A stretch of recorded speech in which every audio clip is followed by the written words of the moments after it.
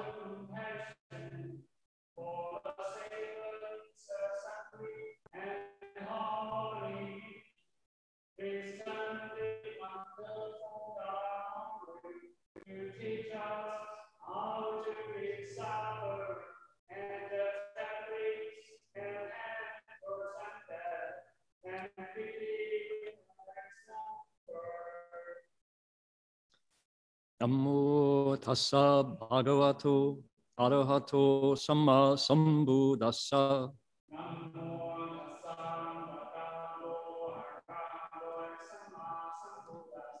Homage to the blessed, noble, and perfectly enlightened one.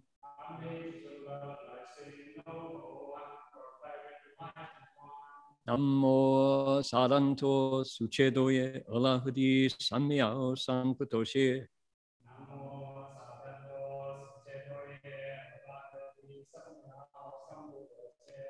无上甚深微妙法，百千万劫难遭遇。我今见闻得受持，愿皆如来真实义。Supreme and wondrous Dharma, subtle and profound, rarely is encountered even in billions of eons. But now we can hear it and accept it reverently. May we truly understand the Buddha's actual meaning. Venerable Master, Dharma friends, hi there. Welcome to our Sutra lecture. My name is Heng Sure. Today is Sunday, April 11th, here in the Gold Coast of Queensland. It's likely Saturday, April 10th, where you are if you're listening in California, that's for sure. Um, we are webcasting around the world. Our 10 stages chapter of the Flower Garland Sutra lecture series continues today. We're in the uh, verses of the 10th stage. We're at the very, very end. We're approaching, you know, the end of the 10 stages, which is just astonishing. I have a clear memory of saying to myself at one point, boy, if you could ever get the wherewithal, the Chinese say the zige, if you could get have what it takes to explain the 10 stages, the 10, 10 grounds chapter, you probably could die right then and, and be happy. You know, you've done what you're supposed to do in a lifetime. And here we're, we're almost done. We're almost through it. So today, what we're going to do, we're in the verses. We're in, uh, last week we talked about the, the uh, second stage. Today, we're on the third stage, and we're going to do a review. We're going to do the hits of the third stage, and what an amazing level of accomplishment this is for a bodhisattva. So, okay, uh, to get us going, let's look at, we'll come back to page 84 when we're done. But for now, we're going to invoke spiritual presence.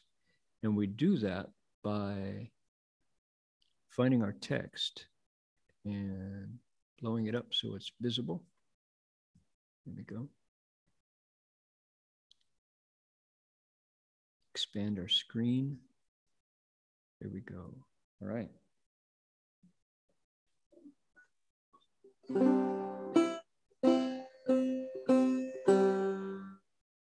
Make sure our instrument is in tune.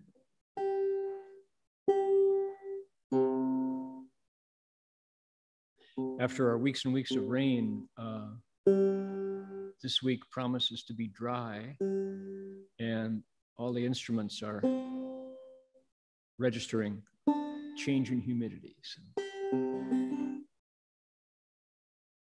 There's enough bad banjo jokes in the world. We don't want to contribute to them by having our banjo out of tune.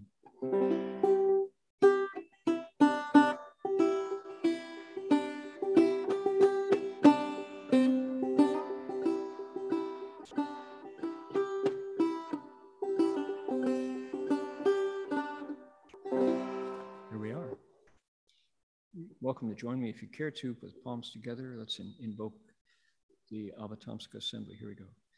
Namo Tafang Wang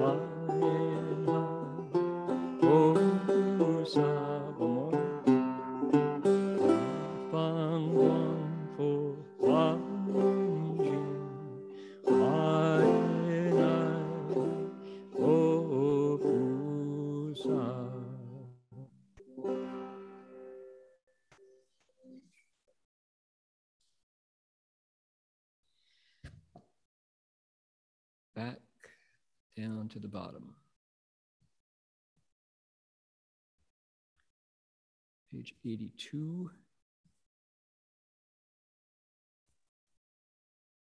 Okay, there we go.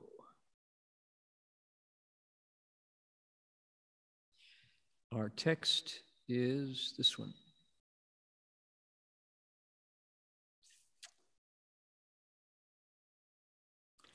Sanyo Ichi Jiuchang. I'll give you a line, you give it back. 三有一切皆无常，三有一切皆无常，如见如山，苦即然，如见如山，苦即然，眼里有为求佛法。眼里有为求佛法。广大之人去眼地。广大之人去眼地。All things in existence will soon pass away. Things in existence will soon pass away, causing pain, sharp as arrows, piercing the body, causing pain, sharp as arrows, piercing the body, rejecting the conditioned world he seeks the Buddha's methods, rejecting the conditioned world. He seeks the Buddha's methods.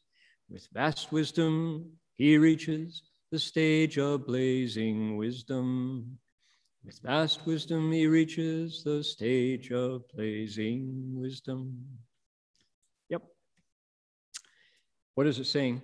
Um, all things in existence will soon pass away causing sharp pain, pain as sharp as arrows piercing the body.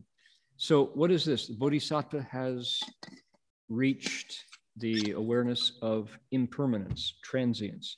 This is his, what he's super aware of.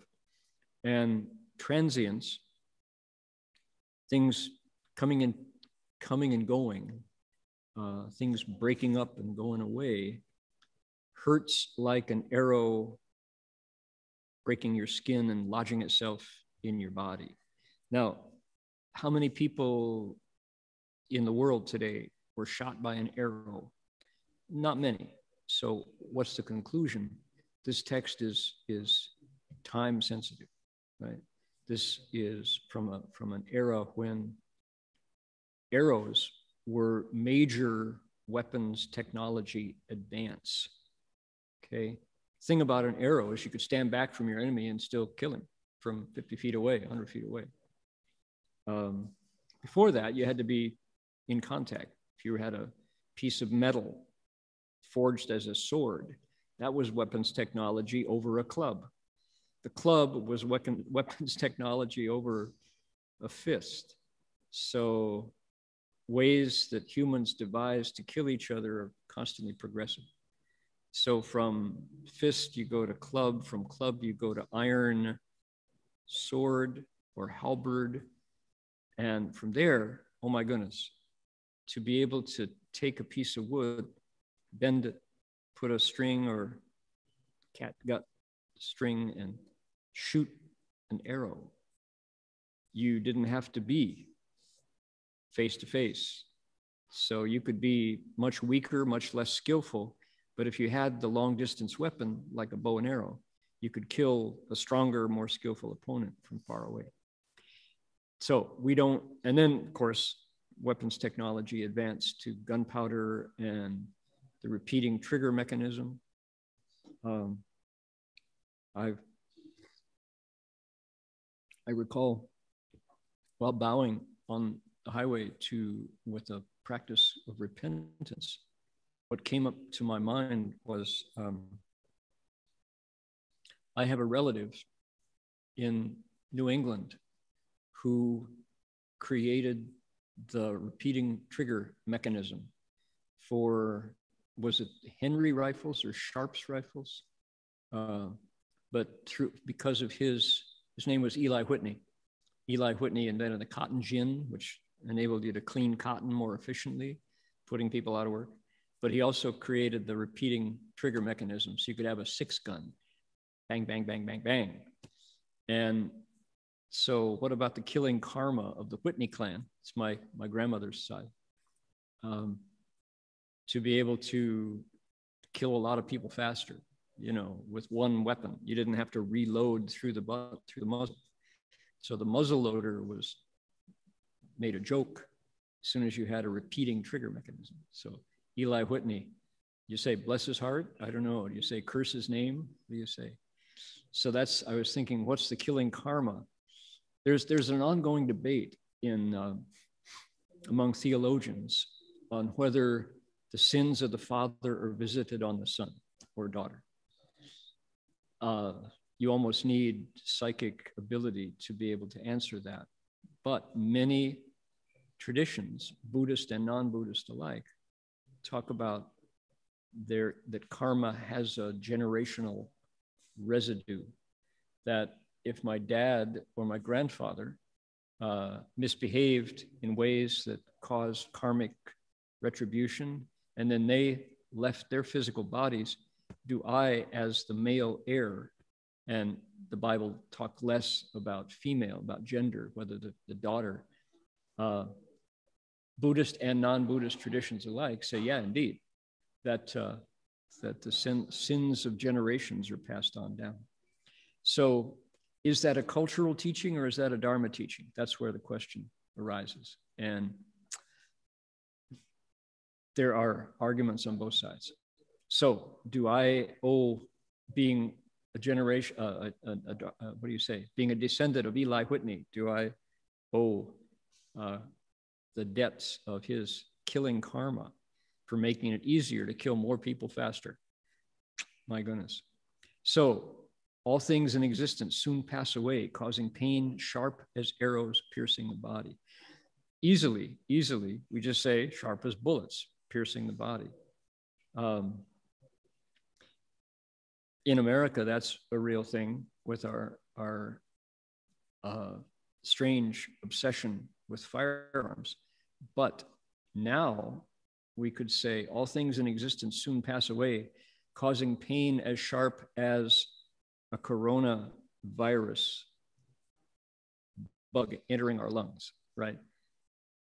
The, uh, the, the, what is now threatening a, they call it a fourth uh, surge of virus, the, the variants the one in the US, we talk about the UK variant 117 um, is so small. The actual disease carrying organism is so tiny that they, you know, it's, it's uh, certainly invisible to the naked eye, but even you need uh,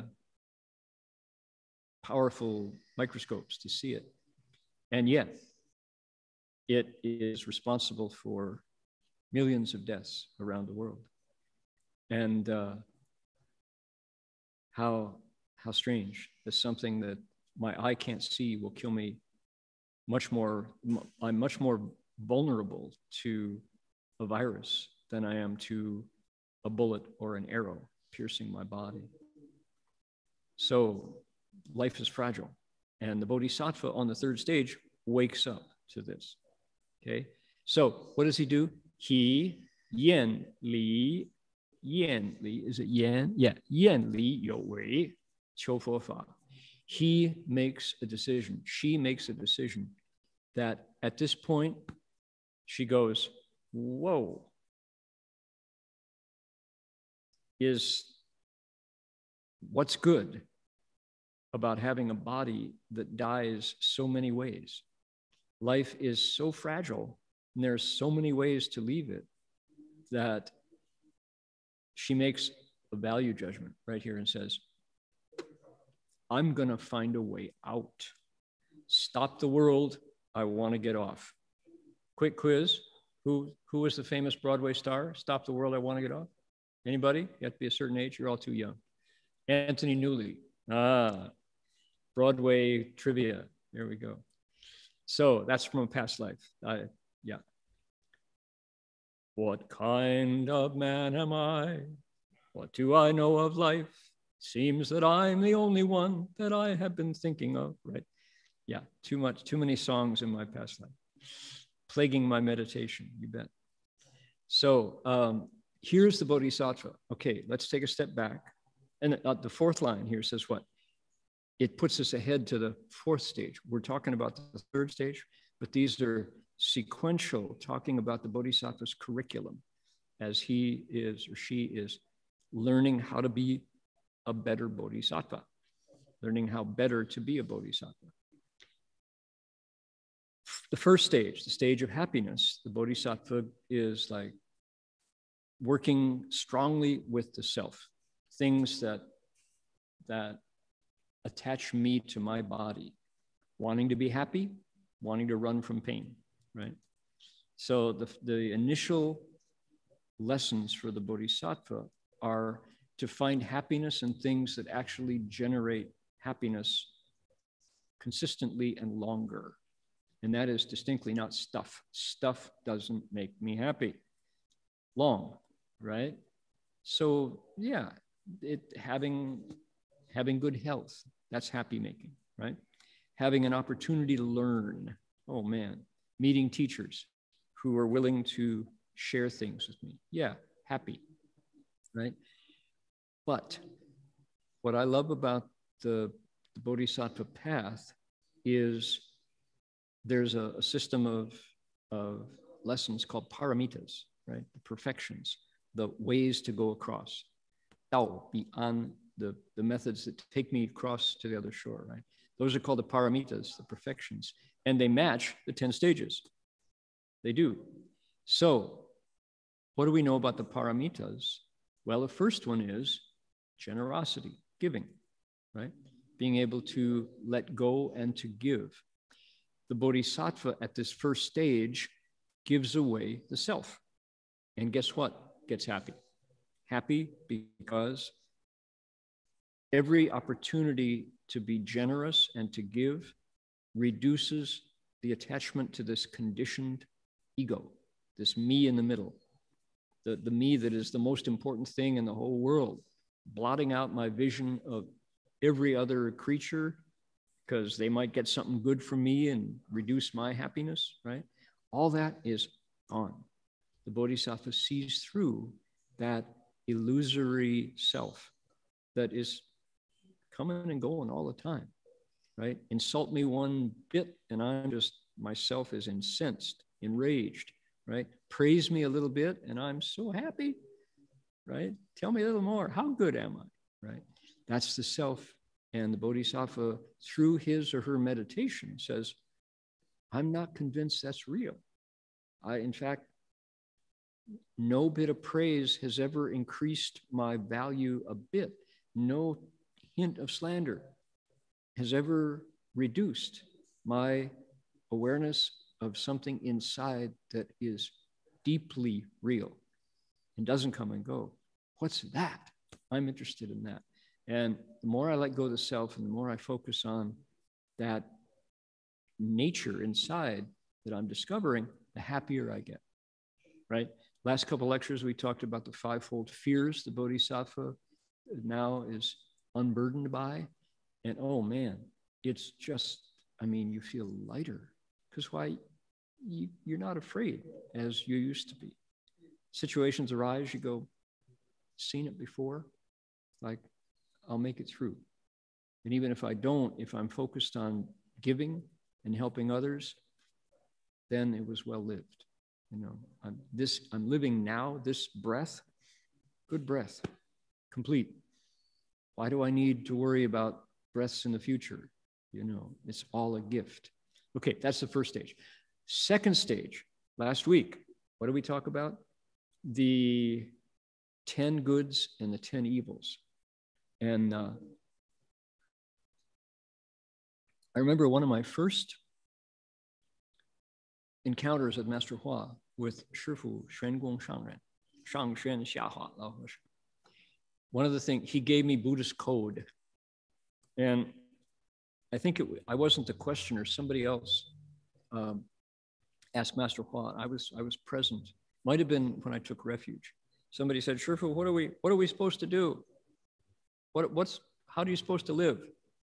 And Shifu said, "延迟无界，风心实善，差不多了。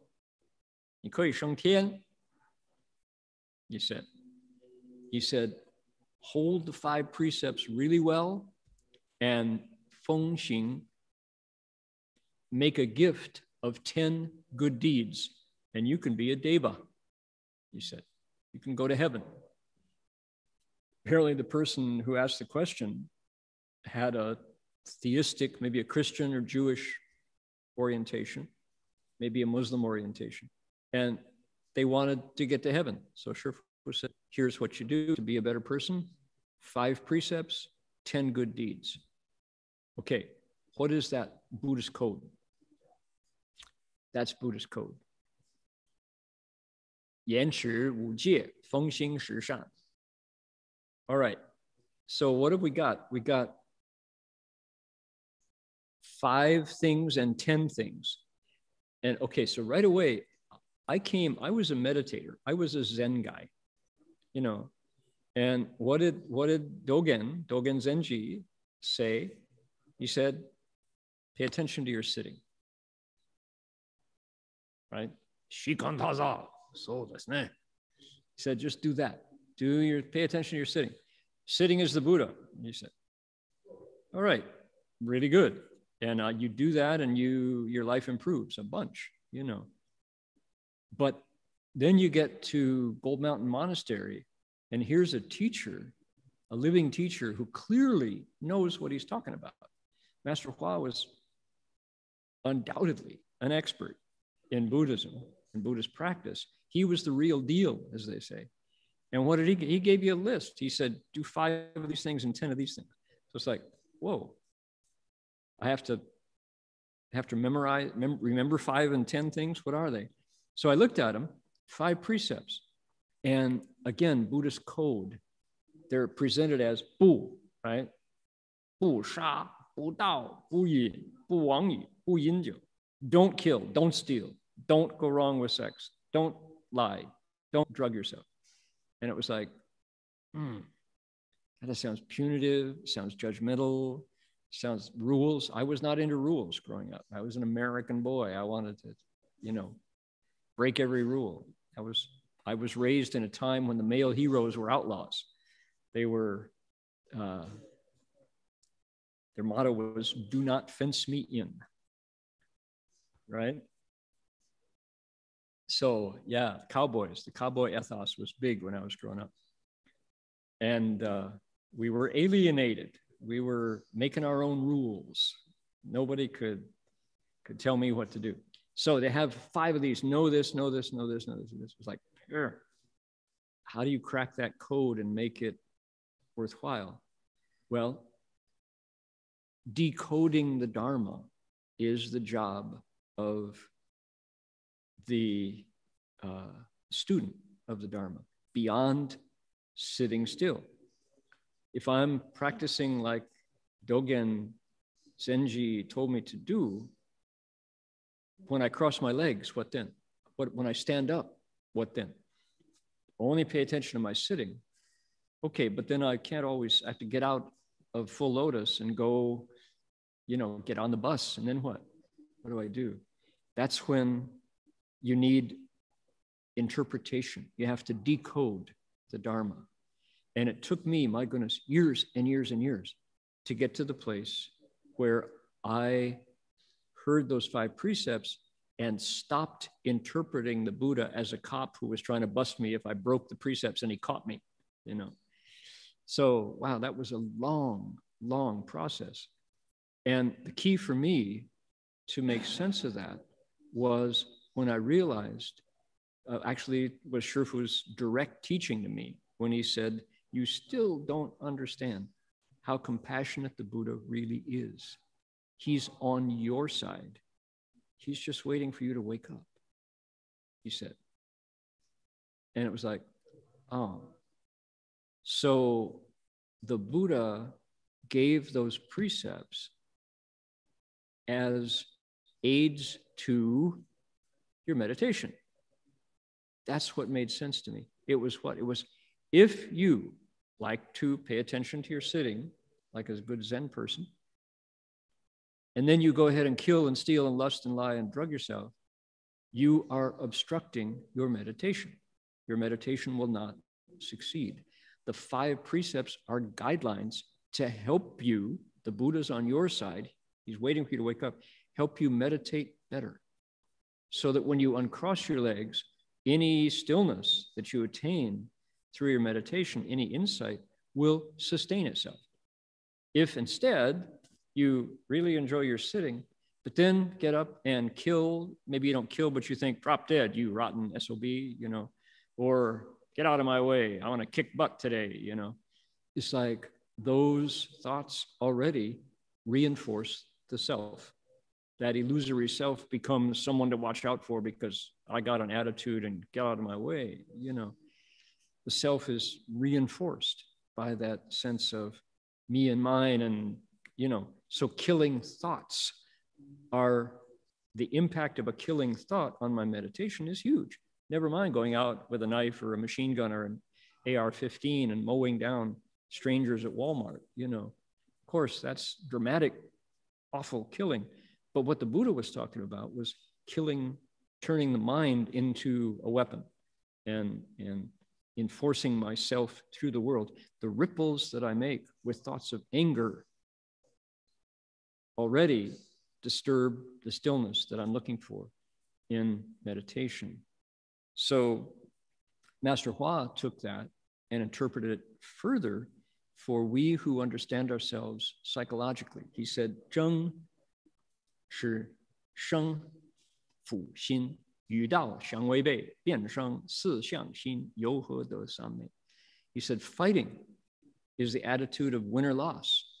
It's absolutely the opposite of the Tao. Furthermore, it increases your thoughts of me, mine, living beings, and creatures of the lifespan.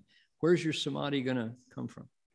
So it's like, maybe I better look at that Buddhist code again, those five precepts. So, Buddhist code needs decoding. We have to get in there and work with it. And then suddenly it opens up. And sure enough, this is how Buddhist teachers pass on the Dharma to people who are serious about their practice and want to do more than get a buzz off of, you know, of slowing down, feeling better because they're they're they're quiet, mindful, and mellow. You know, that's all good, but you want to go deeper, right? You want it to work all day long. And then stealing and lust and lying, drugs, the same. Then I got to the 10 goods and 10 evils. Oh my goodness, last week. And here's our pinnacle of Buddhist philosophy Here's our guide to the cosmos. Here's our obscure, distant text full of Sanskrit that nobody can understand, the Avatamsaka Sutra, saying to me, you know what? If you steal, you know what happens? You can lose your human body if, if you really do harm others with theft. But more likely, what happens? You get retribution. The ripples come back to you for your stealing, for your theft. And you know what happens? You're poor. And the things that should come to you as your share of public weal, public well, well, welfare, don't come to you. Like you should be in line for your refund, your $1,400 you know, check from the government goes astray. Because why? You deprived others of what was their rightful share. As a result, the things that you get, you lose. Right? And you go, that's harsh. But you know what else? It makes sense. Cause and effect works like that, huh? and so a logical person, a person who is not invested in, in weaponizing news, you know, fake politicizing fake news as used as a doctrinaire method of brainwashing to get political benefit. Somebody who's free of that confusion says, that's logical. I like that. Is there more of that? Ah, says you know, the Buddha. Okay, yeah, sexual misconduct. Okay, suppose you cheat on your vows. You have a spouse, someone you have pledged your troth, troth to. And you turn your back on your vows and and have affairs, what happens is what? Your you can lose your human body if if it's if your blessings are not sufficient. But suppose you don't lose your human body, you come back as a human. What happens? Well, your spouse will cheat on you. And further, the people who draw near to you, who you depend on every day, will not suit you. They won't be according with your wishes. You'll be surrounded by folks you can't get along with as a result of having broken a relationship promise. So it's like you read that and you go,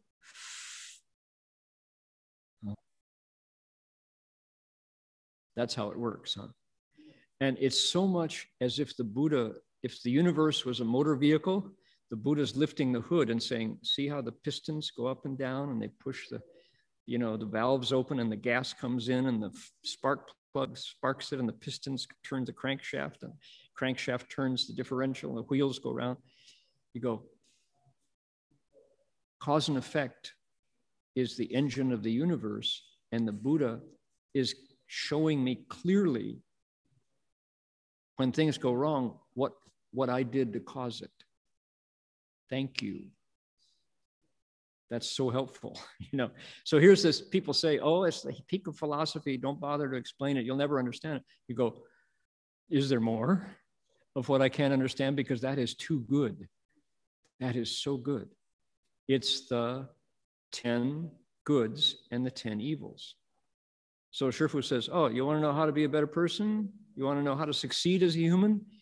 Yan Shi Wu Jie Feng Xing Shi Shan. He gives you a piece of Buddhist code, which is this diamond bright, smelted through 24 karat chunk of wisdom that if you dip it in hot water, it will make tea. This is, you shine a bright light, you will get a spectrum of pure radiance out of this diamond, refined rock of wisdom because it's the real thing. You go, hmm, hmm, that's so good. So this this table, uh, we we tabled it out of the the uh, goods and the evils and the two retributions from each of the uh, lighter grade of the 10 10 goods and 10 evils, right? And so after the Buddha lines it out for you, says, two of these, two of these, these are what happens. And he says, So the Bodhisattva goes, I see the 10 goods and the 10 evils as a garden, and I'm going to go live there. Right? What I like, there's so many things that I that I appreciate about that, that second ground, the second stage.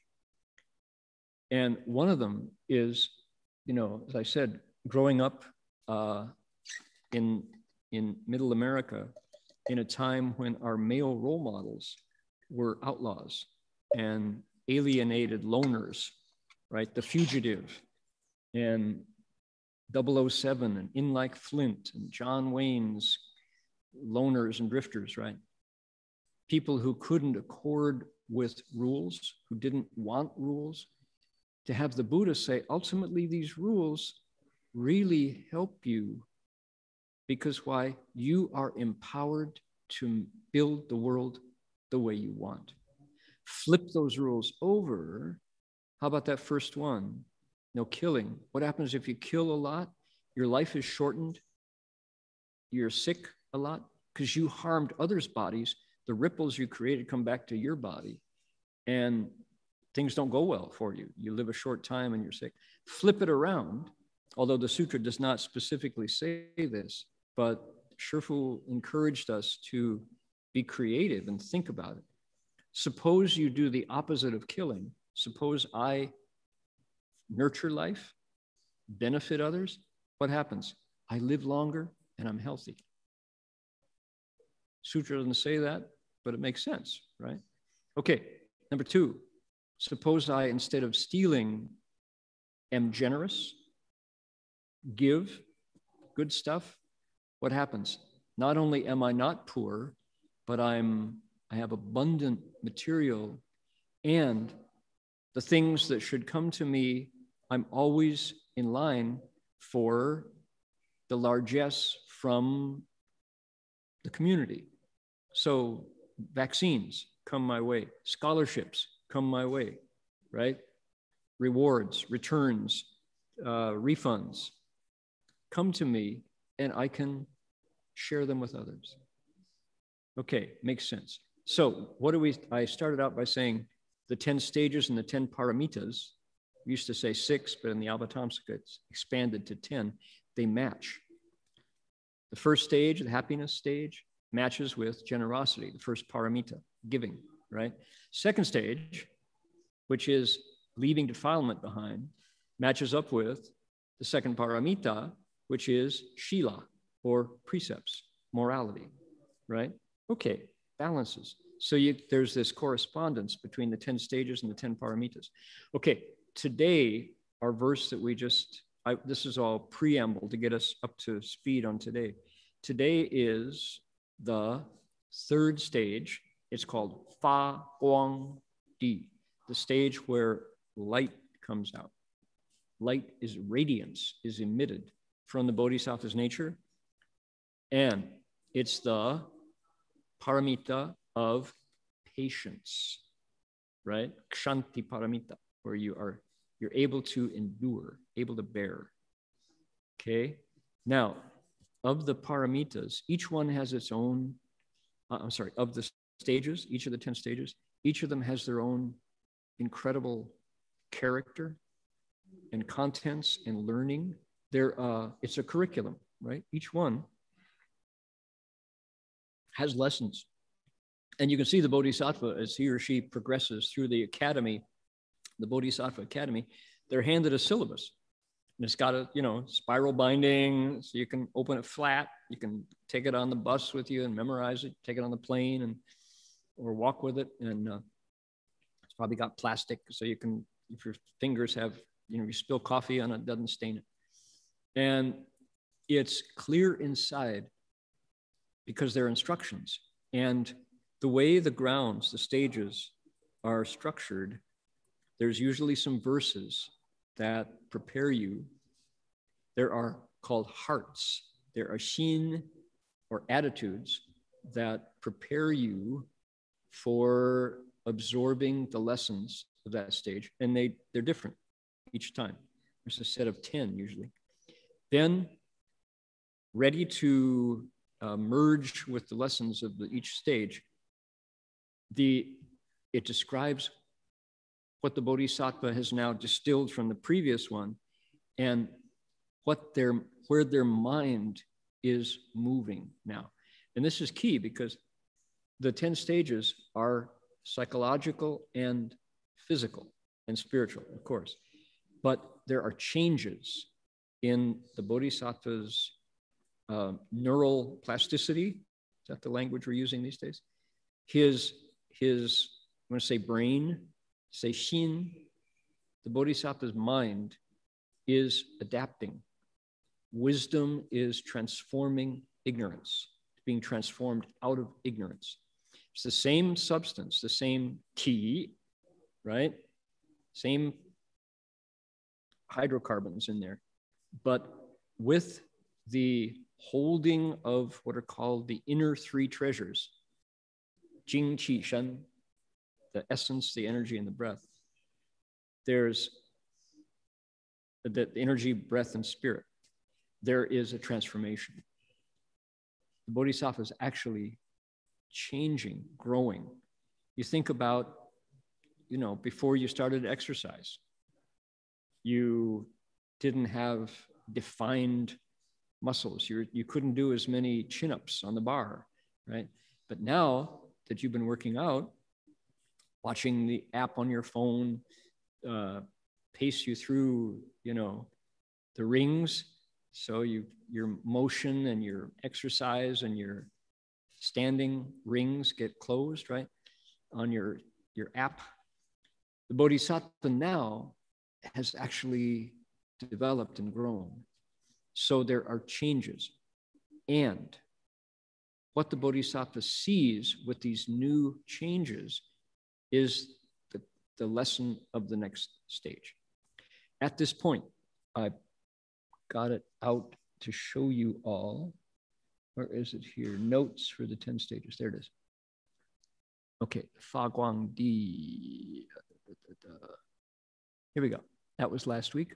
Make it bigger so you can see it.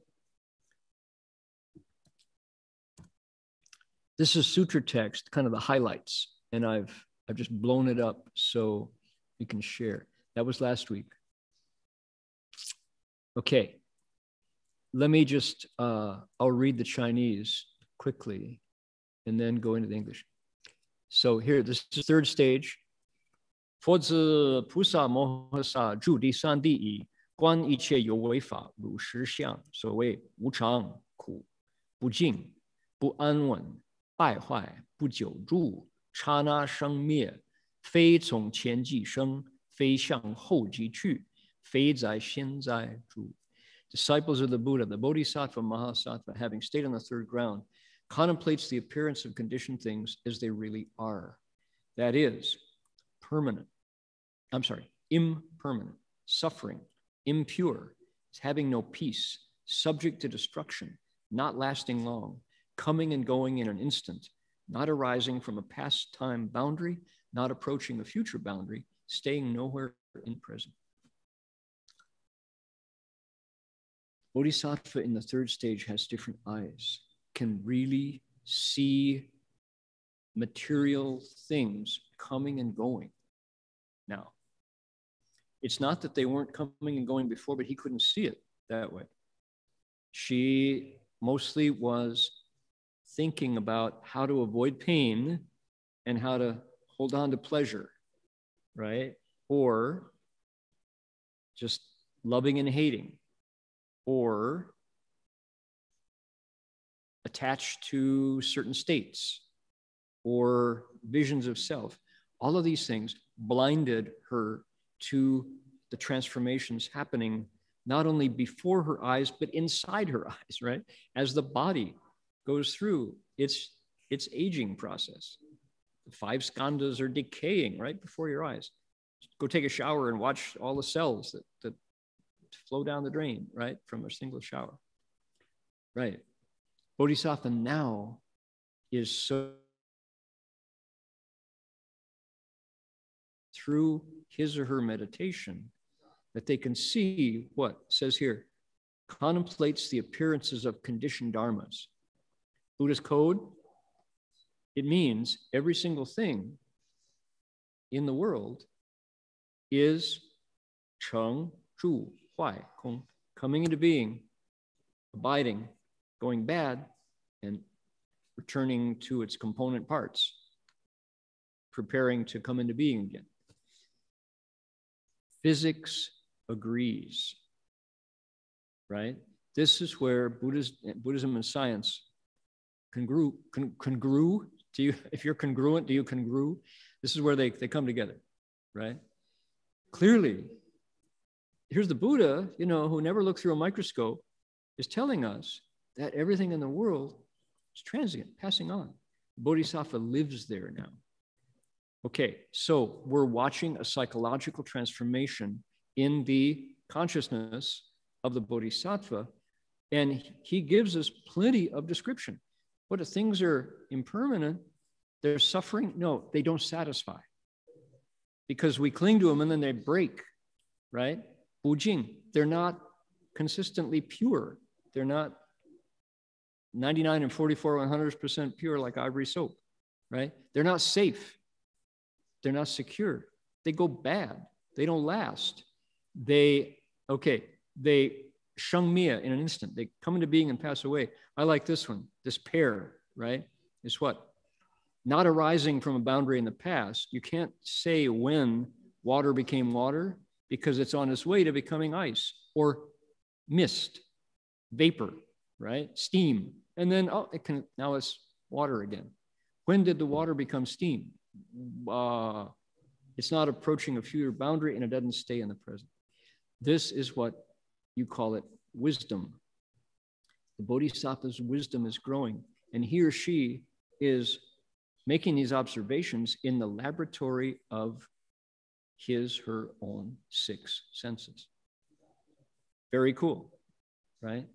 So now hold that thought, and something happens, right? Bodhisattva says, further, look, 观此法无救无益，与忧与悲苦恼同住，爱憎所系，求期转多，无有停迹，贪恚痴火，痴染不息， 终欢所缠，日夜增长，如欢不逝。The Bodhisattva contemplates how those conditioned things cannot be saved, can't be relied on. how they bring worries and lead to troubles, how they're tied up with love and hate, how they increase anxiety and sorrow, contemplates how they create misery that never stops. So the fires of greed, rage, and delusion burn without cease. He sees how dharmas bring with them a host of calamities, which increase and grow by day and night, yet all of which, in reality, are nothing but illusions. It's like, whoa, there's a dose of wisdom reality that i mean if if this is all you heard today that'd be enough to ruin your day right? Like misery man. The bodhisattva sees through the illusion of everything being peachy and rosy and makes the next step. He says right it's because everything comes and goes that we're worried that we're troubled that we have the blues that love and hate tie us up anxiety and sorrow increases because you can't hang on to anything. So, what do we do in the face of this? Mostly get drunk. Mostly fill them up again, lads. In my Irish heritage, man, you go to the pub and down a couple pints of bitter black beer because you're face to face with this reality all the time and nothing in, beg your pardon, Catholic theology prepares you to deal with it except go to Jesus. Right? There's, there's no help in the world for this reality except blot it out, dull it, escape it, deny it.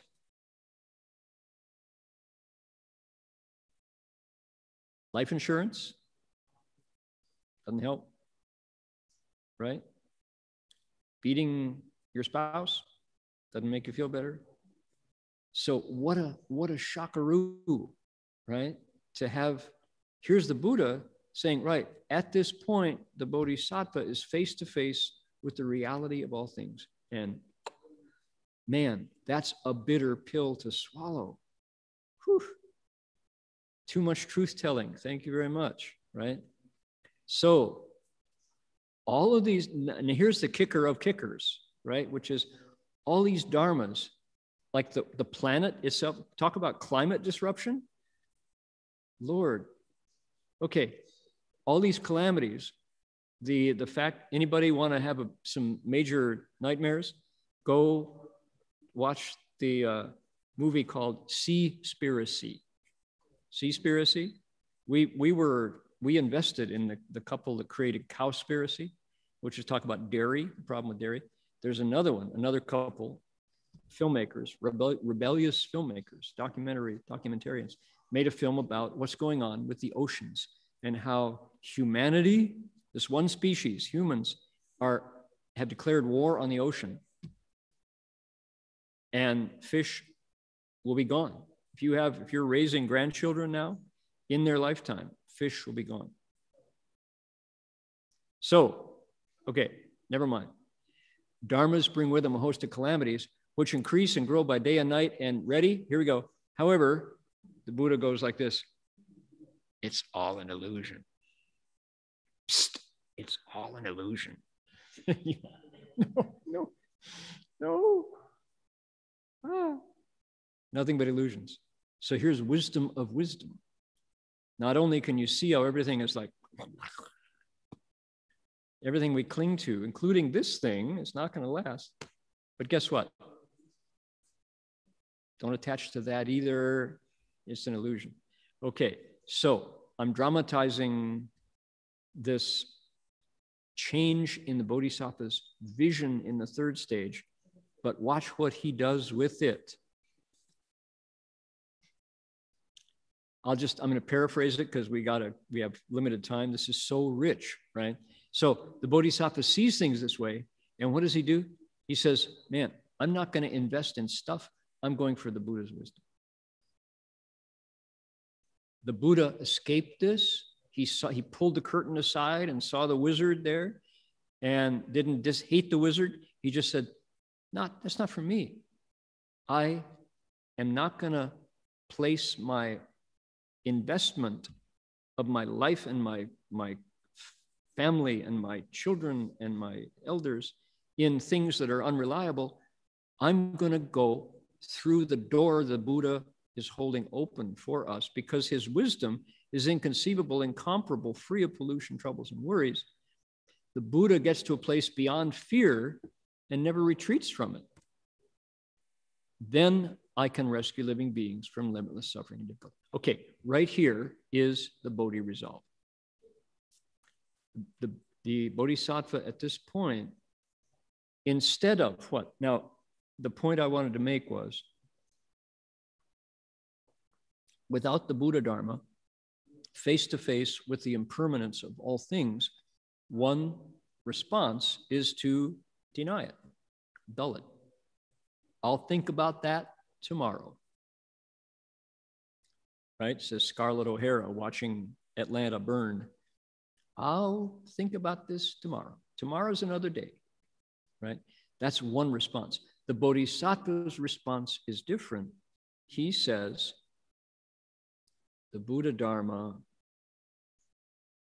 has a method for coping with the reality of impermanence, not freaking out, but instead getting to a place beyond fear, because at that place I can rescue living beings from suffering. Pretty good. Selfless response. Selfless response. That's a different response than denial or drugging or, you know, the, the nihilistic, cynical, negative response. So people who say oh, you Buddhists, you're just all suffering all the time? No, not at all. Not the Bodhisattva. Okay, what happens next? Okay, I'm not going to read the text. We don't need to put our palms together. I'm not going to read the text. I'm going to narrate it because the riches of this third stage that we're looking at revisiting today, because the verses give us this chance. It is so rich. What does the Bodhisattva do? There's a change in his or her attitude, and they put everything down in favor of seeking for the proper Dharma. They want to hear it, they delight in it, they rely on it, they follow it, they understand it, they accord of it, they cultivate. Because why? There is a promise in the Buddha's teaching that you can do something other than an unskillful response to the reality of the void coming for me and the world. You can transcend it through knowledge of the Dharma. The Bodhisattva increases his or her vigor at this point, and that ain't all. What else? Uh, uh, that's it. Not that. Not that. Not that. Okay. That one is called, nope, it's not what I want. I want this one. There we are. Okay.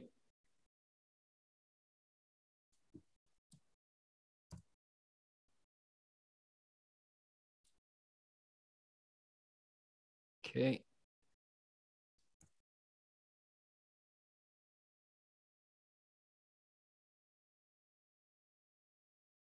Okay. Contemplates the reality of things, they are impermanent. He sees how that, that coming apart, when we attach to it, makes us hurt. Says, hmm, I'm not satisfied with that. I want the Buddha's wisdom there are limitless advantages in the Buddha's wisdom. There are limitless disadvantages in the ignorance of thinking that everything is cozy and going to last. And so the Bodhisattva at this point in the, the third perfection, Fa Guang, emitting light, which is patience paramita, has 10 sympathetic thoughts for living beings this is okay. I, what I'm I'm trying to sketch across the the structure of this third stage because a lot of things change here in the bodhisattva's consciousness. He sees how much suffering is created by stuff falling apart and we cling to it. He has sympathy. It's translated as um, I lien min, right? Is that what it is? Uh, I mean xin. That's the word for sympathy. I mean, it's like pity and empathy together. What is it? The Bodhisattva says, beings are alone with no refuge, and I feel sympathy. Here, I'll put my palms together on this one. Beings are poor and destitute.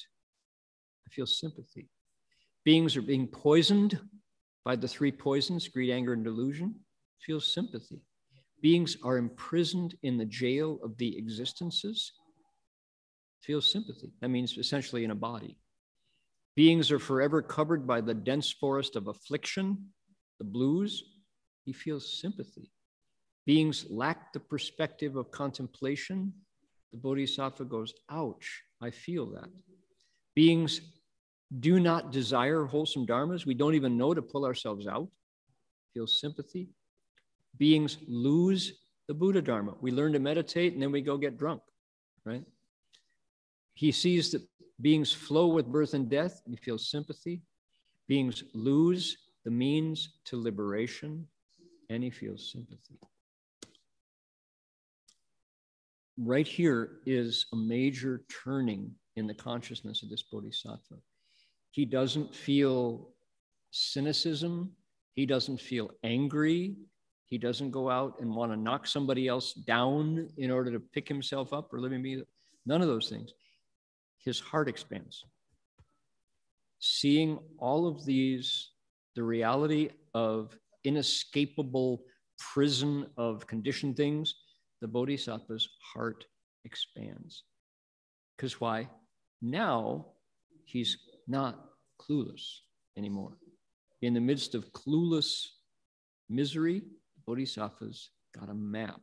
He's got a, a flashlight in the cave of confusion right? And rechargeable batteries.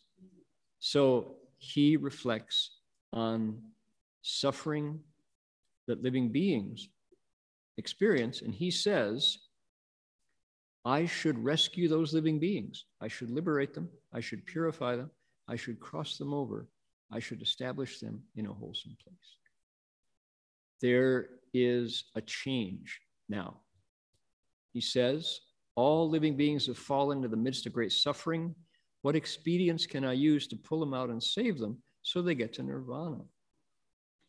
Okay, so there is, um, this is, I've taken us a deep dive into the third stage, but I want to go a little shallower so we can get to what happens next because this is so powerful, so rich. Okay, he makes these conclusions that the Buddha Dharma is the thing that he needs to save them. He sets his heart on understanding the proper Dharma, the Zhengfa, the right Dharma. Probably translate that as right Dharma. he doubles his diligent search for the right Dharma. Day and night, he wants to hear the Dharma, delight in it, rely on it, follow, understand it. Because the Dharma is what is going to help living beings wake up. So, what does he do? He doesn't begrudge gems or wealth, gives it away, seek the Dharma. There's nothing that is hard to attain except the Buddha Dharma. If I can meet somebody who can explain it, that's hard to get. Everything else, simple, right? He is, gives up inner and outer wealth. There's no reverence he can't practice. There's no pride he can't renounce. There's no service he can't undergo. There is no work, hard work he is not able to endure. If he hears a single phrase of Dharma he hasn't heard before, he's more delighted than if he got precious jewels that filled up the universe. If he hears a verse of proper Dharma he's never heard before, he's more delighted than if he became a king. If he gets one verse of Dharma he's never heard before, that'll help him purify bodhisattva conduct, meaning understand it better. That's better than becoming a god, Shakra or Brahma for hundreds of thousands of eons. Okay, so, okay, palms down. All right. Then in the 10th, in all of these 10 stages, uh, and actually in the 10 practices as well, a little vignette happens, a little playlet, a little script, skit happens. Uh, it's all hypothetical, but it's an illustration of how this bodhisattva is like, he means it, right? She means it. It's a little uh, setting a benchmark. It's like in the like for example in the 10 practices chapter there's the uh, the first practice. Bodhisattva wants to give. He admires. He wants to learn how to be a better benefactor. And he says oh i really i want to help people out so i want to give anything i can give. On the spot living beings come up and say we're starving. We're hungry. Could i have your body to eat? And the bodhisattva goes Sure. Yeah. Thanks for the opportunity to practice giving. Here, take take a piece my, my thigh or you know my wings or you know. Uh, and he makes this outrageous vow, lifetime after lifetime. He wants a huge body to feed every living being, but he ties a rider on the contract. He says, anybody who gets a bite of my flesh must also make the Bodhi resolve and become Buddhas. Okay, you game? All right. So, right there's a, a disclaimer don't practice this at home, right? So it's like kids don't do this. It's not Bodhi, the Sutra and the Dharma Master are not telling you to go give pieces of your body to people to eat. Mm-mm-mm. So this is a bodhisattva's behavior, not we who are students of the, the path, right? So similar little playlet happens right here in the third stage, right? Here it is. Somebody comes, I have a phrase of Dharma that the Buddha spoke that can purify your conduct. If you can enter the pit of fire and undergo great suffering, I'll give it to you. The Bodhisattva makes the following reflection Since, with a single phrase of Dharma the Buddha spoke, I can purify my Bodhisattva practices, if the 3,000 universe, the, the universe of multiple world systems, were filled with a fire, I would throw my body down from the Brahma heaven and endure it. How much the less? A small pit of fire. Seek the Buddha Dharma, I'll undergo the sufferings of the hells. How much the more small vexation, room, right? So the Bodhisattva rouses up his diligence and vigor in search for the Dharma. Now, there's an interesting, interesting phrase here. Show you in the Chinese. 如说修行乃得佛法，非但口言而可清净。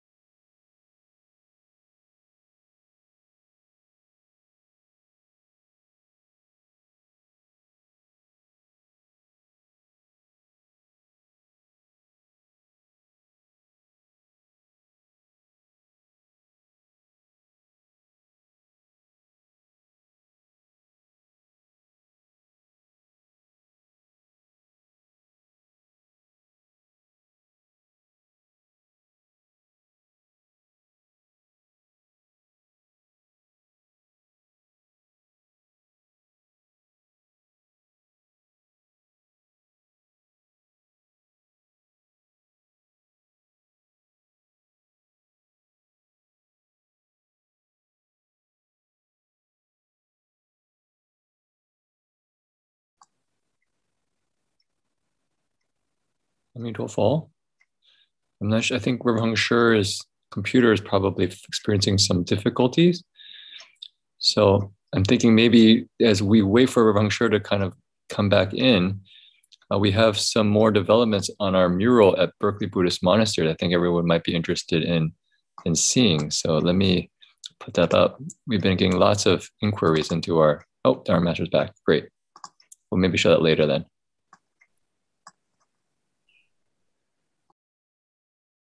Okay. Jin Chuan Shi, did you boldly step into the lecture? I appreciate that. I, I was going to share, I didn't get to it though. I was going to share the mural pictures. I thought that oh, man. Okay, I didn't show it. I didn't share I, it. I was going to do that too, but I'll, I'll save it and you can do it. All right. Okay. Uh, I'll pass it over to you, not now, but in a while. Yeah. I think our internet hiccuped. We think we're not sure exactly. So, gee whiz, I'm going to run out of time before I run out of third ground stuff, third stage. Okay. Um, we were saying, we're back. Everybody happy? Sorry for leaving you so abruptly. Okay. The sutra says, can't got to practice what you preach. It's by practicing as spoken that you obtain the Buddha Dharma. Merely talking can't make you pure. Okay. Um, so the Bodhisattva makes this little vow where he says, I'll throw my body into a pit of fire from the heavens if I can get a single sentence of Dharma or a verse, it says a verse, that I haven't heard before. Okay. So, what do we make of that? It's the Bodhisattva has uh, made a resolve, right? And what you're seeing is an act of will. This is willpower. And what's, I wonder, probably if you had some sophisticated tools, you could measure chemicals secreted by the brain when you make a vow like that. In any case, there has been a change of mind, a change of heart. And the bodhisattva's values are now in a different perspective he or she says, I've seen the suffering that reality can bring to people who see it clearly. And I don't want them in the face of the truth, reality. Most people can't bear reality. That's, that's the assumption. You can't stand it. You can't stand it to see how nothing lasts. Face to face with the void, people freak out. They get negative, they lose all their perspective and they kill themselves. Groundhog Day, right? It's Groundhog Day. And what do they do? Well, you know, Bill, what's his name? Groundhog Day. He, um, what he did uh, was killed himself over and over again until he realized here was an opportunity to help people. And that's when things changed, right? In the movie, everybody's favorite, Bill Murray, everybody's favorite Buddhist film, Groundhog Day. Highly recommended. He started helping people because he knew he was going to come back. And so the same people he saw, he helped them. The Bodhisattva does the same thing. He says, she says, in the face of everything falling apart, I want to help people. I feel sympathy. I feel connected to them. And so at that point, his conclusion is I know what will help. Buddha Dharma will help. Who can teach me? I need to learn so I can teach. Okay. I'm, I'm going to step out of the line of the third stage and say, you remember in the ninth stage, the Bodhisattva became a Da Fa Shi, right? He became the great teacher of Dharma. And that was a direct result of this awareness that happened in the third stage. So the third stage is awesome changes. What a powerful, powerful uh, transformation is happening here based on clear seeing and the ability of the human heart to respond with compassion when you witness suffering. Really important transformation here. People who say, oh, you Buddhists, you know, you're so negative. You think it's all suffering, you know. Or even, you know, the Arhat who says, I'm out of here, you know, save yourself. Well, that's halfway home and it's an essential step, but it's not home yet. Okay, watch what happens next. Still with us? Still there? Here we go. Mm, is it that one? Not that one. It's this one. Yes. Okay. What happens next? I'm going I'm not going to read it. I'm going to paraphrase it. What happens next? The Bodhisattva dwells in the first dhyana. Okay, what does that mean? The Bodhisattva enters samadhi. Samadhi happens after these steps have been taken.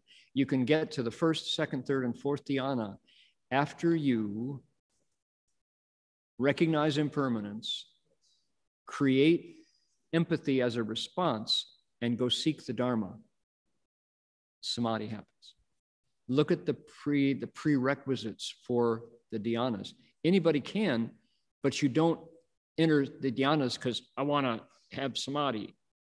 You have to go through these steps of expanding your heart as a response to seeing the reality of impermanence and then connecting it to a wish for the Dharma. What happens then? Second dhyana, third dhyana, fourth dhyana. The bodhisattva transcends thought and form, destroys relative thoughts, boundless emptiness. You go through the four empty attainments, right? This is the formless realm. The dhyanas are the form realm. Bodhisattva goes to the formless realm. Sukong the four stations of emptiness, we say. There they are, right? Boundless emptiness, boundless empty space, boundless consciousness, boundless, uh, nothing, not the slightest thing, nothing whatsoever, and neither thought nor non thought.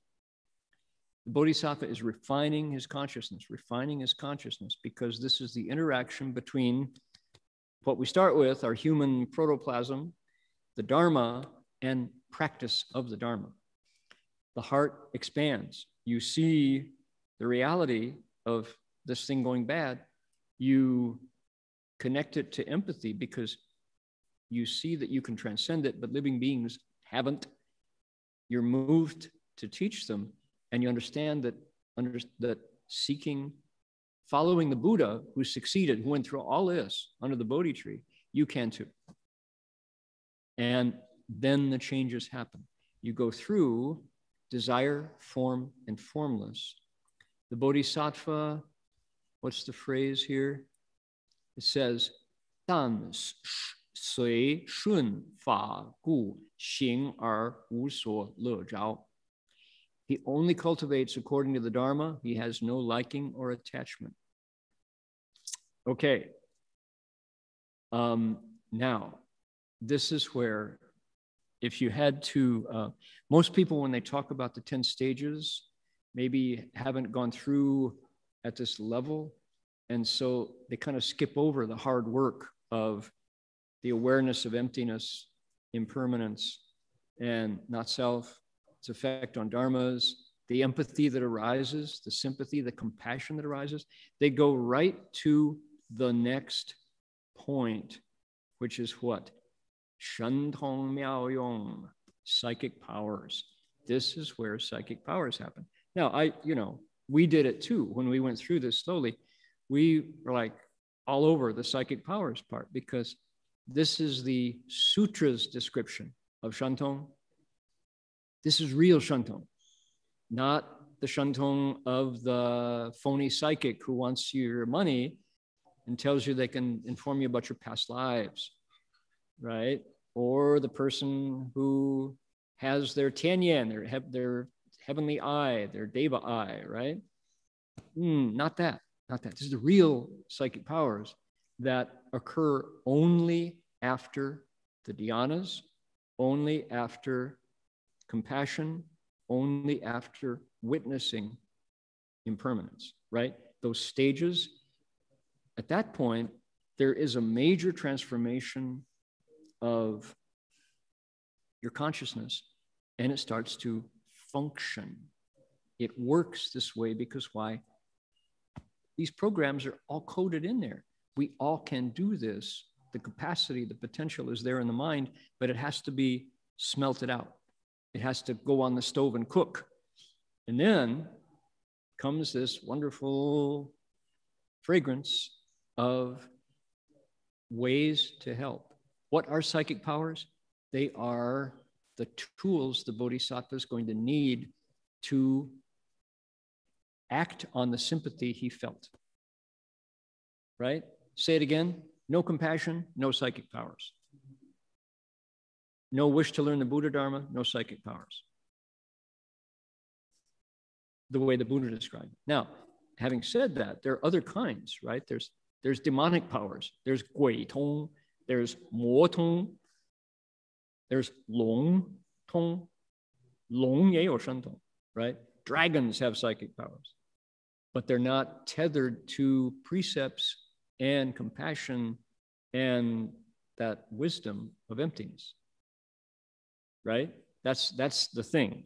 And that's why it's really important for us out in the world in the marketplace if you meet somebody who tells you they got psychic powers careful right because why they may not be the dharmas proper the right dharmas psychic powers. They could be that ability of the mind triggered by another, got there by another path.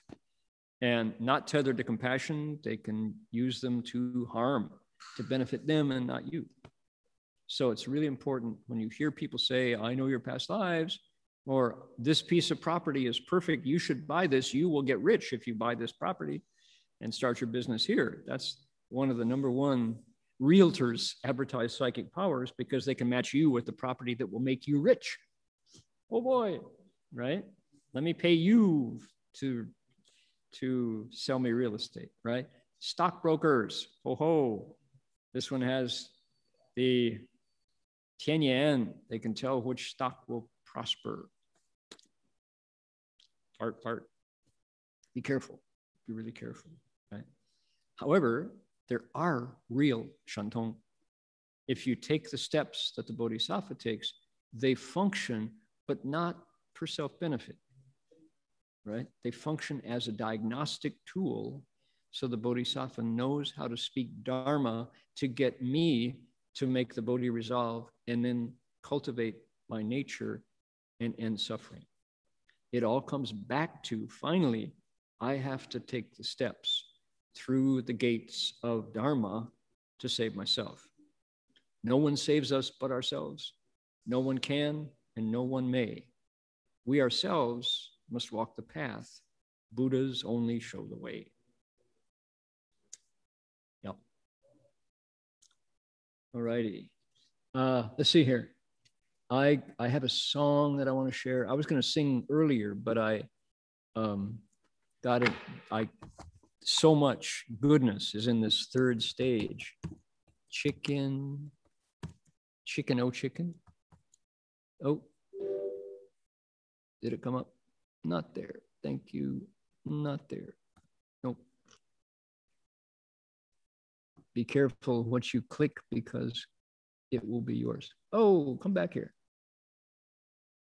Uh, chicken, oh chicken. Chicken, oh chicken. There it is.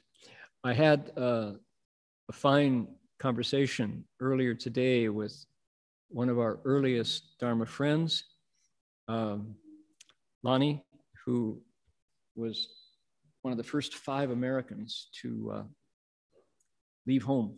And we also heard from Bruce Munson today, one of the very earliest, earliest bhikshus of Master Hua's Sangha, how hard it was to be a pioneer when there was no, not even dictionaries that would tell you Buddhist terminology, right? So, boy, they really had it hard. There was you had their teacher pulling for them, but there was no uh, no tradition to help them wake up, and yet they persevered. Right. So uh, this song was written by Loni Baur, former Bhikshuni Heng Yin. I wanted to share it because it's. Uh,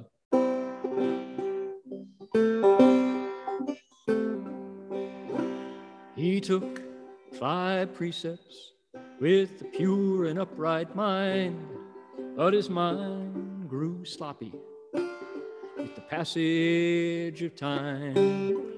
Till one day he asked himself, What's the reason behind this uptight regulation against a little wine? The rationale behind holding or breaking the precepts, right? Staring at a bottle of Primo Vino Red, he popped the cork, took a sip, the wine rose to his head. Looking for some more divorce to wash that grape juice down, when along came a chicken pecking at the ground. Chicken, oh chicken how you lost your head and ended up a Colonel Sanders takeout treat instead. He heard a knocking now as he staggered to the door. It was the neighbor lady asking, Did my chicken come through your yard? She said, Sad, sad story how he took a dive because he broke one precept. He blew it on all five. Sad, sad story. How this Buddhist fell and when he will wake up. No human tongue can tell. Okay, how many precepts have we broken at this point? We got, uh, see, he saw a chicken, he took it, broke, he drank the wine, right? Well, it's just a drink, what matter? And then killed the chicken. So we're, we're already down two precepts.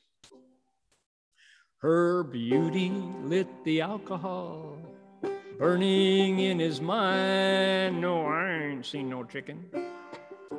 Come this way, he lied. Precept number three. But you're not bad yourself, he said as he locked the door. And in his drunken stupor, I'm a monk, so I shouldn't sing anymore.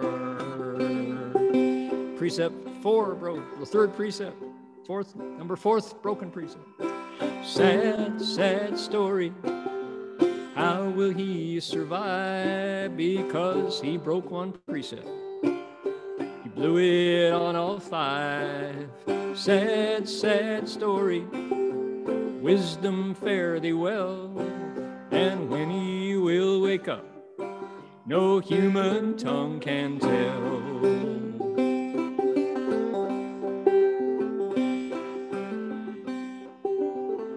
Okay, well, here's our moral of the story.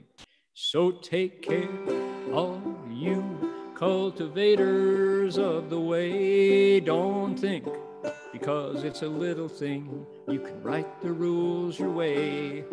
King Yama's got your number. You're listed in his files, if you're off by a hair to start with, you're gonna miss it by a million miles. Sad, sad story. How will he survive? Because he broke one precept. Blew it on all five. Sad, sad story. How this Buddhist fell, and when he will wake up, no human tongue can tell. There we go. Certainly worth the wait. Thank you, Loni, for that lovely song. Truth. Right? All right. Uh, we'll continue next week our survey of the stages. I know we just got to the good part, the Shentong, when it was over, right? But I think um, there are 64 lectures in this series. If you're really serious, you can go back on YouTube and Dharma Realm Live and dig out the lectures on psychic powers. We went through every one. We went through the the Wuyan Liu Tong. The one that's not listed, interestingly, is number six, the Lo Jin Tong, the ending of outflows, but the others are there. Find out how the Bodhisattva really knows past lives, really knows others' thoughts, really knows the, the Deva ear and the Deva eye. And the, uh, the amazing thing is uh, called the Shenzu Tong, the Riddhi Pada, which is the 18 transformations of an arhat. Oh my goodness. Incredible stuff. So, not incredible, genuine, credible stuff, right? Okay, I'm going to ask uh, Jin Chuan Shi or Jin Wei Shi, Jin Chuan Shi is on, to tell us. Uh, I'll, I can stop sharing my screen if you'd like. And uh, you can show what's new at the Berkeley Monastery. And then, uh, there you go. Okay, and then if you want to give the announcements afterwards. Can you hear me? Can. Yep, you're on. Okay, good. Okay, so I just want to share the latest at Berkeley Buddhist Monastery. So here's our new Guanyin Bodhisattva mural. I think people have been seeing it the last couple of weeks, but now it's officially uh, put up and completely done. So this is probably what you saw last week. You see the Guanyin Bodhisattva mural there, and you have the platform below where they were working on it. But now it looks like this. You have a frame around it, and there's a, a layer of plexiglass that covers it. And actually, it ends up um, working out quite nicely. The plexiglass actually kind of makes it even more. Um, it's like a really piece of artwork. You feel it's, it's a kind of a piece of artwork, and so you actually see our neighbors uh, just Marty came by on Friday night last night for his sutra lecture, and he said he, he drove up. He saw just a woman just standing there, just contemplating it, just standing there, you know, just watching it. He says, I don't know what she was thinking, but you know, definitely lost in some reflection. So it has a power to it. So you can see, I, I made a little video. The new see. mural at BBM. What's nice about the mural is actually it's colored colored glass, reflective glass. So as you walk in the, near it, I don't know if you can tell, but it kind of glitters. The the the, the light hits at different ways as you as you move closer. You see the kind of the plexiglass actually kind of actually magnifies the effect a little bit. Very nice. Now that the schools here are open in, in the, the elementary school, I see a lot of you know kids and parents and families walking by. Um, so maybe So this is this is actually what it was before without the plexiglass. You can get a kind of a full sense of the, the image. All the little cuts here are actually stained glass. The little tiny um, tiny shards of glass, putting it all together. Uh, last thing was, I don't know, Dharma Master, you remember this picture? Yes. Uh huh. This is the one actually um, we gave to the artist, um, Carolyn, uh, as a kind of a, a, a, model. And this came from Dunhuang, the Dunhuang Caves, right, our master? This was in that book. Yes. Right. Yeah. And so I, I, I just put it in the presentation. And I was just saying, nice. compare the two, yeah. you can actually kind of see the similarities, right? Right, right. Look at the, yeah, look at the, glad, angle. I'm glad you remembered that. I, I had forgotten that, but that is actually you can see the model. Yeah. Yeah. So yeah. Okay. Awesome. Okay, so I need to figure out how to stop sharing here. Okay. Okay, so that's it. Um, in terms of announcements, it's just the regular activities at Berkeley Buddhist Monastery. Um, go to berkeleymonastery.org. We don't have anything uh, exceptional. Uh, we had Ajahn Sucitto speak this morning, which was very well attended, and I think people really enjoyed it. And we'll be putting up his YouTube lecture, uh, the lecture on the Dharma Realm Live YouTube account very soon once I kind of confirm with him. So probably next couple how of did, days. How did it go? What did he talk about? It was two in the morning here. Otherwise, I yeah, yeah. He talked about unseating the inner tyrant. So how do we, how do we basically not follow the um, that in, inner critical, judgmental, controlling voice saying you're not good enough. And um, I thought uh, I could honestly I could see everyone at the end was really relaxed and smiling. I got quite a few uh, emails saying, "Wow, that was wonderful. Really appreciate he could he could share." And I can see Ajahn Sucitto just has a way of kind of drawing you in with these kind of emotional landscapes and then at a particular moment he just pokes you and you go whoa and you see something something new so yeah. it's definitely worth watching if you're if you're interested. He show first goes through you know the, the controlling mind and then he shows you how you can work from a completely different place in your emotional you know physical somatic realm. So i think i think people really appreciated that. And some really meaningful q&a at the end. You know people asking about how do you receive public criticism? How do you um, how do you deal with a school system that's constantly uh, in in kind of grades and judgment. And then how do you write so it's not becomes compulsive? So he gave some very good reflections. Okay. Yeah i'm looking forward to watching it. All right. Appreciate that. Um, we are ready to transfer merit. Oh, by the way, what that was, uh, uh, Jin Chuan, sure, do you want to tell us one more time how to find Ajahn Sucitto's lecture? Oh, it would just be on this, this where, where people are watching right now, Dharma Realm Live, the Dharma YouTube Realm channel. And the next probably day, it will be put up. I just need to confirm with him about any details he wants to change on the on the video. So lovely. Okay. Yep. We also have we have talks there from Ajahn Sumedho, uh, from uh, Bhikkhu Bodhi um, and other luminaries in the, the, the Mahasangha. So now Ajahn Sucitto has uh, contributed his wisdom. So that's great. Alrighty, transfer the merit. We'll use Medicine Buddha's mantra. Um, all over the planet, people are discovering the variant uh, coronavirus strains are uh, causing widespread infection. So we can't let our guard down. Now's the time to really learn this mantra and keep it rolling, right? This is the Buddha's wisdom, medicine Buddha's wisdom for keeping our bodies and minds healthy.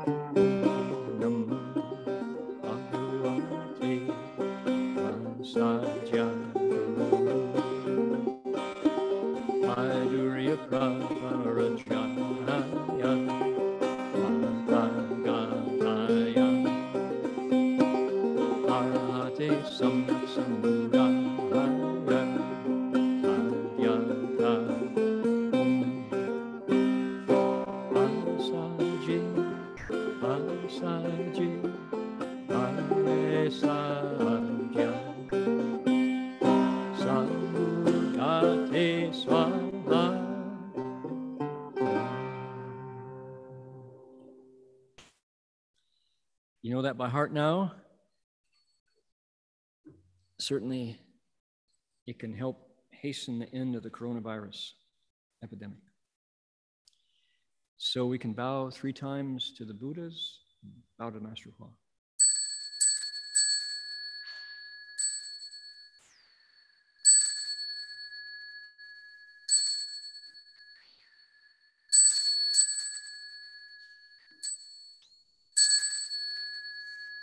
Bow in respect to the Venerable Master.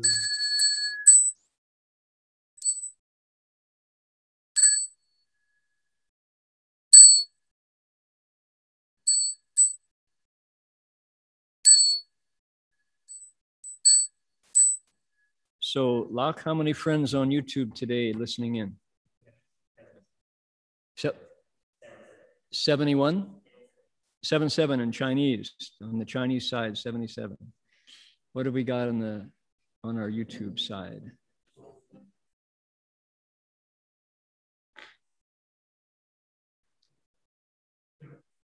We have 150. Lovely. See you all next week.